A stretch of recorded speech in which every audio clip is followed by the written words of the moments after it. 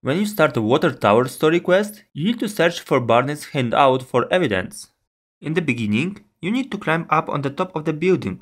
In order to do it, at the corner of the house, you will find some supports construction. Use the ladder to climb up and broken bridge that will help you to access the door. Enter inside and open another door that you will find in the front of you. As a result, in the following room, you need to move the wooden door and investigate in order to finish the Search Barney's hideout for evidence mission.